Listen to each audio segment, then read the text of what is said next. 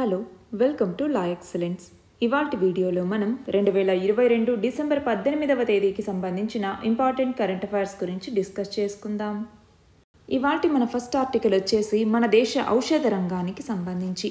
మన దేశ ఫార్మా రంగం స్వయం సమృద్ధి సాధించాలి అన్నటువంటి లక్ష్యంతో రెండు వేల పదహైదవ సంవత్సరంలో ప్రభుత్వం కొన్ని రాయితీలు ప్రోత్సాహకాలతో bulk drug parks bulk drug parks అన్నటువంటి వాటిని ఏర్పాటు చేయటానికి ఒక పథకాన్ని ప్రకటించడం జరిగింది.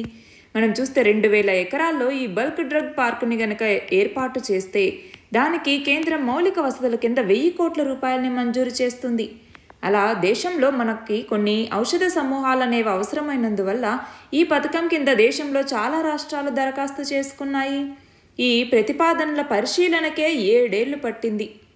చివరికి గుజరాత్ హిమాచల్ ప్రదేశ్ ఏపీ ఈ మూడింటికి మాత్రమే ఈ బల్క్ డ్రగ్ పార్కులని మంజూరు చేయటం జరిగింది. ఈ బల్క్ డ్రగ్ పార్కు కోసం తెలంగాణ కూడా తీవ్ర ప్రయత్నాలు చేసింది. మనం చూస్తే తెలంగాణ ప్రపంచ టీకాల రాజధాని అనేసి చెప్తూ ఉంటాము. కానీ తెలంగాణకి ఈ బల్క్ డ్రగ్ పార్క్ ఏర్పాటు అనేటటువంటిది సాధ్యమవ్వలేదు. మనం చూస్తే భారత్ బయోటెక్ సంస్థ ఇక్కడి నుంచే కరోనా టీకాని రూపొందించడం జరిగింది. తెలంగాణ ప్రభుత్వం ఏర్పాటు చేస్తున్నటువంటి ఔషధ నగరిని బల్క్ డ్రగ్ పార్క్ పథకంలో చేర్చాలి అన్నటువంటి వినతిని కూడా కేంద్రం ఈ పరిగణలోకి తీసుకోలేదు. అయితే ఔషధ రంగంలో మనం స్వయం సమృద్ధి సాధించాలి అంటే అన్ని విధాలా కూడా ఈ ఔషధ సంస్థలకి ఊతమివ్వాల్సిన అవసరం అనేది ఉంది. అయితే ఔషధ రంగంలో భారతదేశం ఇప్పటికే కీలక స్థానంలో ఉంది. ఔషధాల ఉత్పత్తిలోకి వచ్చేసరికి ప్రపంచవ్యాప్తంగా మూడవ స్థానంలో ఔషధాల విలువ పరంగా పద్నాలుగవ స్థానంలో ఉంది. మన దేశంలో మూడు వేల ఆరు వందల పైగా భారీ ఔషధ సంస్థలు అనేవి ఉన్నాయి. పదివేల ఐదు వందలకు పైగా తయారీ పరిశ్రమలు అనేవి నడుస్తూ ఉన్నాయి.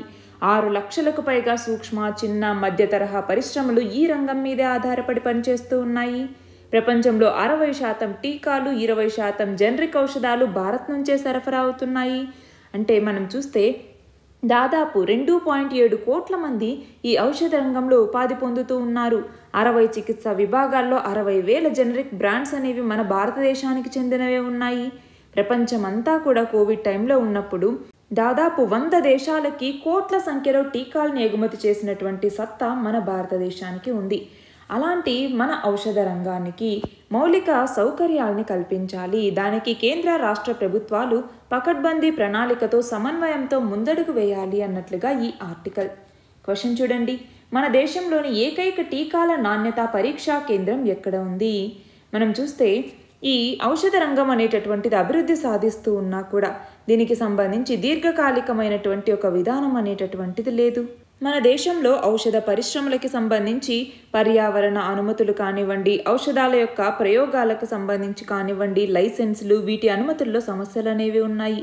అయితే కేంద్రం టీకా పరీక్షల కేంద్రాలను కూడా నెలకొల్పట్లేదు.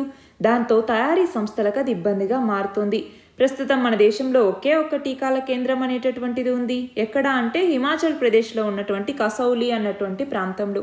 అంటే ఏంటి? మన భారతదేశంలో ఏ సంస్థ ఏ టీకా తయారు చేసినా కూడా దానిని పరీక్షా కేంద్రానికి పంపించాలి అంటే హిమాచల్ ప్రదేశ్కి పంపించాలి. ఢిల్లీ దాకా విమానాల్లో పంపించిన అక్కడి నుంచి రోడ్డు మార్గంలో పంపించే వెసులుబాటు మాత్రమే అక్కడ ఉంది.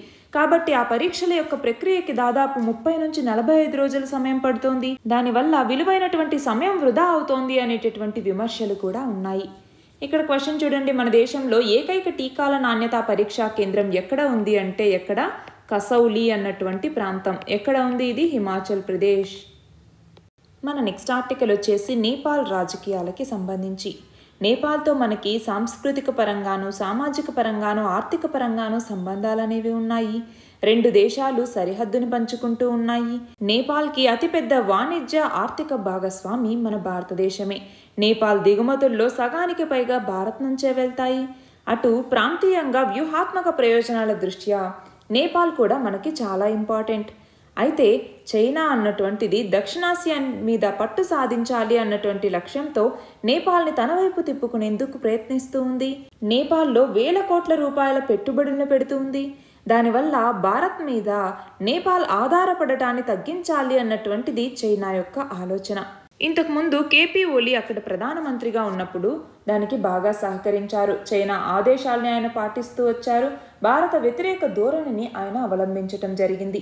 ఫర్ ఎగ్జాంపుల్ భారత భూభాగంలోని ప్రాంతాలని కూడా నేపాల్ తమ దేశంలో అంతర్భాగంగా పేర్కొనేటటువంటి ఒక పొలిటికల్ మ్యాప్ని కూడా అక్కడి పార్లమెంట్ అనేది ఆమోదించింది. దానివల్ల ఇటు భారత్ మరియు నేపాల్ సంబంధాలు అనేవి దెబ్బతిన్నాయి. నేపాల్లో కొన్ని ప్రాంతాలను చైనా ఆక్రమించి కొత్త భవనాల్ని కూడా నిర్మించింది. నేపాల్లో గత సార్వత్రిక ఎన్నికల్లో కూడా చైనా అన్నటువంటిది జోక్యం చేసుకుంది. రెండు వేల పద్దెనిమిదిలో కేపీ ఓలీ అలాగే కమల్ దహల్ ప్రచండ వీళ్ళిద్దరూ కలిసి అంటే వీళ్ళిద్దరూ చేతులు కలిపే విషయంలో ఈ చైనానే కీలక పాత్ర పోషించింది. రెండు వేల ఇరవై ఒకటికి వచ్చేసరికి వాళ్ళు దారి వాళ్ళు చూసుకున్నారు. అంటే నేపాల్లో అతిపెద్ద రెండు కమ్యూనిస్ట్ పార్టీలైనటువంటి సిపిఎన్ యుఎంఎల్ అన్నటువంటిది సిపిఎన్ ఎంసి. ఇవి ఇప్పుడు మళ్ళీ జట్టు కట్టాయి. ఎన్సీ అన్నటువంటిది అతిపెద్ద రాజకీయ పార్టీగా ఇటీవల జరిగినటువంటి సార్వత్రిక ఎన్నికల్లో అవతరించింది. అయితే సొంతంగా ప్రభుత్వాన్ని ఏర్పాటు చేసుకునేందుకు అవసరమైన అన్ని స్థానాలనేవి దక్కలేదు. దాంతో సిపిఎం యుఎంఎల్ నేత అయినటువంటి కేపీ శర్మ ఒలి ఈయన మద్దతుతో కమల్ దహల్ ప్రచండ ఇప్పుడు ప్రధాని పదవిని స్వీకరించటం జరిగింది. దానికి సంబంధించిందే ఈ ఆర్టికల్. ఇక్కడ క్వశ్చన్ చూడండి. నేపాల్ ప్రధానిగా ఇటీవల ప్రమాణ స్వీకారం చేసింది ఎవరు? ఎవరు? పుష్ప కమల్ దహల్ ప్రచండ. మన నెక్స్ట్ ఆర్టికల్ వచ్చేసి ప్రస్తుతం ప్రపంచవ్యాప్తంగా కరోనా అన్నటువంటిది విస్తరిస్తూ వస్తోంది. అలాంటి టైంలో దక్షిణ కొరియాలో ఒక అరుదైనటువంటి ఇన్ఫెక్షన్ కనపడింది. ఆ ఇన్ఫెక్షన్ బారిన పడి ఒక వ్యక్తి చనిపోయారు. అది ఆ ఇన్ఫెక్షన్ ఏంటి అంటే మెదడును తినేసేటటువంటి నెగ్లేరియా ఫౌలరీ అనేటటువంటి ఒక అమీబా. ఆ అమీబా వల్ల ఇన్ఫెక్షన్ అనేది వచ్చింది. ఆ ఇన్ఫెక్షన్ పేరేంటి అంటే ప్రైమరీ అమీబిక్ మెనెన్జో ఎన్సెఫలైటిస్ లేదా పిఏఎం అనేసి పిలుస్తారు. ప్రస్తుతం దక్షిణ కొరియాలో మరణించినటువంటి వ్యక్తికి థాయిలాండ్లో ఈ ఇన్ఫెక్షన్ అనేటటువంటిది సోకింది. దాన్ని the Korea disease control and prevention agency అన్నటువంటి ధృవీకరించింది. అయితే దీనికి సంబంధించి ఏంటి అసలు ఈ యొక్క ఇన్ఫెక్షన్ అనేసి చూస్తే అమెరికాకి చెందినటువంటి centre for disease control and prevention అన్నటువంటిది ఏం చెప్పింది? ఈ అమీబా అన్నటువంటిది ముక్కు ద్వారా మన లోపలికి ప్రవేశించి మెదడు దగ్గరికి చేరుకుంటుంది. ఆ మెదడుని ఆహారంగా భావించి అక్కడ కీలకమైనటువంటి ప్రాంతాల మీద దాడి చేస్తుంది.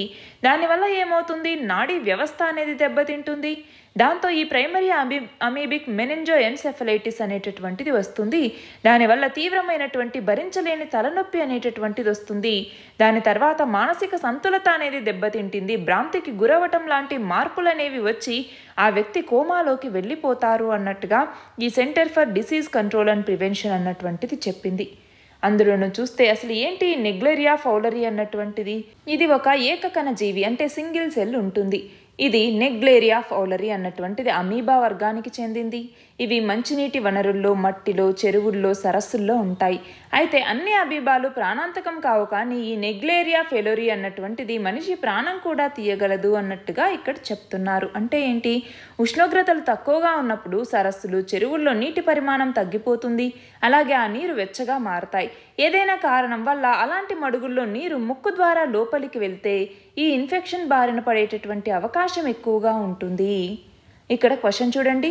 ప్రైమరీ అమీబిక్ మెనిన్జో ఎన్సెఫలైటిస్ ఇన్ఫెక్షన్ని కలుగచేసేది ఏది అంటే నెగ్లెరియా ఫౌలరీ అనేటటువంటి అమీబా. మన నెక్స్ట్ ఆర్టికల్ వచ్చేసి చాట్ జీపీటీకి సంబంధించి. ఏంటి ఈ చాట్ జీపీటీ అన్నటువంటిది? ఇది ఆర్టిఫిషియల్ ఇంటెలిజెన్స్ అంటే కృత్రిమ మేధతో తయారైనటువంటి ఒక చాట్ బాట్ ఇది ఇప్పుడు గూగుల్కి సవాలుగా మారబోతోంది అన్నటువంటి కంటెక్స్లో మనం ఈ న్యూస్ని చదువుకుంటూ ఉన్నాము. మనం చూస్తే ఇది ఇంకా సామాన్య ప్రజానికానికి అందుబాటులోకి రాలేదు. ప్రయోగ దశలోనే కేవలం రెండు వారాల్లో పది లక్షల మంది యూజర్లు దాటారు. ఈ చాట్ జీపీటీకి అంటే రెండేళ్ళలో ఇది గూగుల్ని దాటిపోతుంది అన్నట్టుగా అందరి అంచనా. అసలు ఏంటి ఈ చాట్ జీపీటీ అన్నటువంటిది?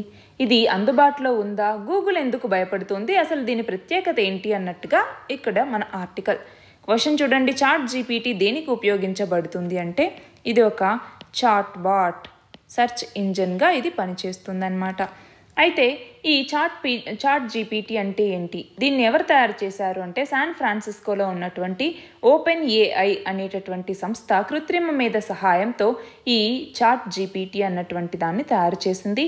రెండు వేల పదహైదులో శామ్ ఆల్డ్మన్ ఎలాన్ మస్క్ వీళ్ళిద్దరూ కలిసి వంద కోట్ల డాలర్లతో ఈ కంపెనీని ప్రారంభించారు. అయితే రెండు వేల పద్దెనిమిదిలో ఎలన్ మస్క్ రాజీనామా చేసి పెట్టుబడులు మాత్రం పెడుతూ ఉన్నారు.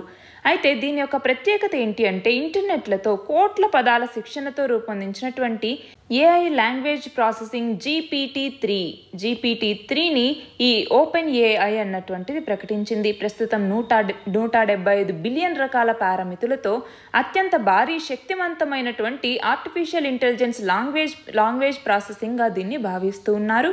మూడు వందల బిలియన్ పదాల్ని ఈ వ్యవస్థలో అమర్చటం జరిగింది. అంటే దీని కింద ఏంటి అంటే మనుషుల మాదిరిగా రాత రూపంలో ఆవిష్కరించటమే కాకుండా అనువాదాల్లో కూడా ఇది చాలా ఖచ్చితంగా ఉంటుంది. గూగుల్ సెర్చ్ మాదిరిగా ప్రశ్న ప్రశ్నలకి సమాధానాల్ని లిస్టు చేయటంతో ఆగకుండా వాటిని సులభంగా అర్థమయ్యేలాగా సమాధానాల్ని రాత రూపంలో రాస్తుంది ఈ చాట్ జీపీటీ అన్నటువంటిది. అంటే ఫర్ ఎగ్జాంపుల్ గూగుల్లో ఏదన్నా అడిగితే దానికి సంబంధించి లింక్ జాబితా అనేది వస్తుంది. కానీ అదే చాట్ జీపీటీని కనుక అడిగితే ఆ లింకులు వచ్చి ఆ అంశాన్ని మనకి ప్రతిదీ వివరంగా అర్థం చేసుకునేలాగా ఇది చేస్తుంది.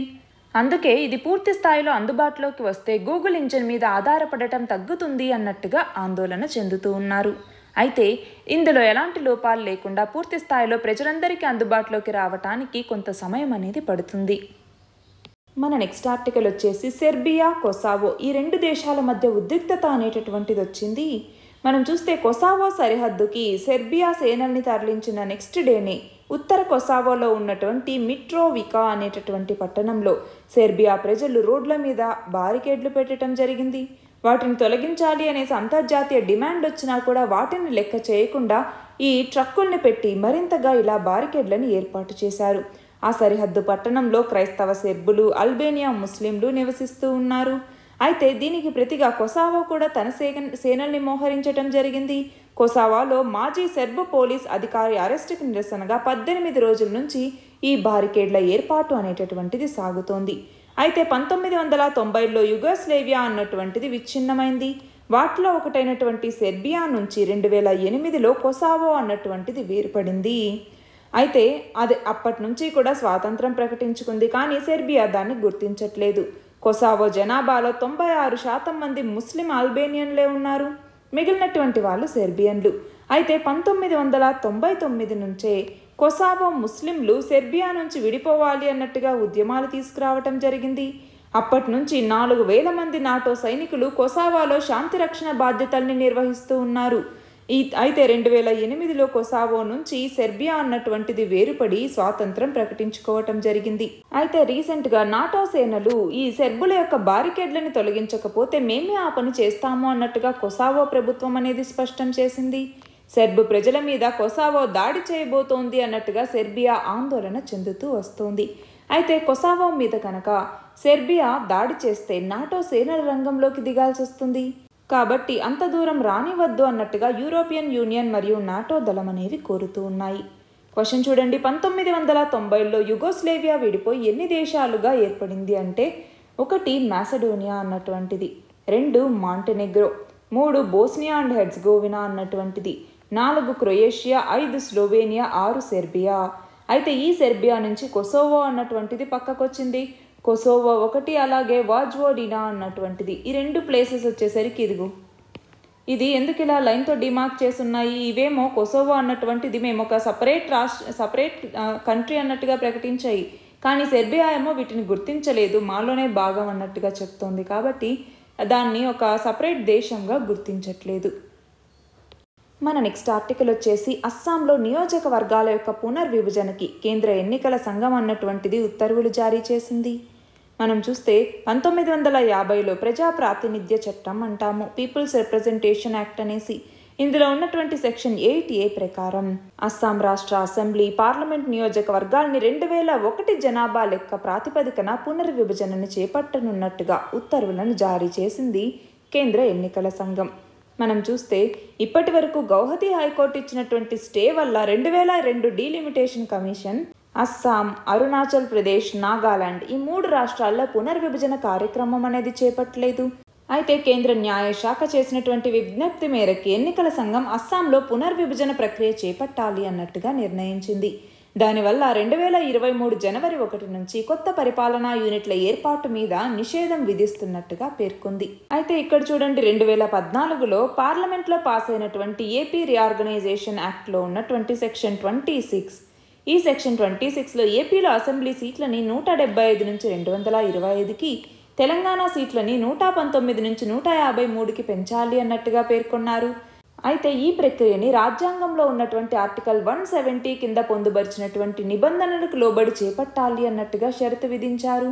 అయితే ఆ ఆర్టికల్లో రెండు వేల ఇరవై ఆరు తర్వాత చేపట్టే తొలి జనాభా లెక్కల్ని ప్రచురించిన తర్వాతే ఆ నియోజకవర్గాల్ని పునర్విభజించాలి అన్నటువంటి ఒక నిబంధన కూడా ఉంది. అంటే రెండు వేల ఇరవై ఆరు తర్వాత తొలి జనాభా లెక్కల సేకరణ రెండు వేల ముప్పై ఒకటిలో చేపట్టే అవకాశం ఉంది. అంటే రెండు వేల ముప్పై ఒకటి లెక్కలు వచ్చిన తర్వాతనే రెండు తెలుగు రాష్ట్రాల్లో సీట్ల పెంపు అనేటటువంటిది సాధ్యమవుతుంది. ఇక్కడ క్వశ్చన్ చూడండి. పంతొమ్మిది వందల యాభై ప్రజా ప్రాతినిధ్య చట్టంలోని ఏ సెక్షన్ ప్రకారం అస్సాం అసెంబ్లీ మరియు పార్లమెంట్ నియోజకవర్గాల్ని పునర్విభజన చేస్తూ కేంద్ర ఎన్నికల సంఘం ఉత్తర్వులు జారీ చేసింది.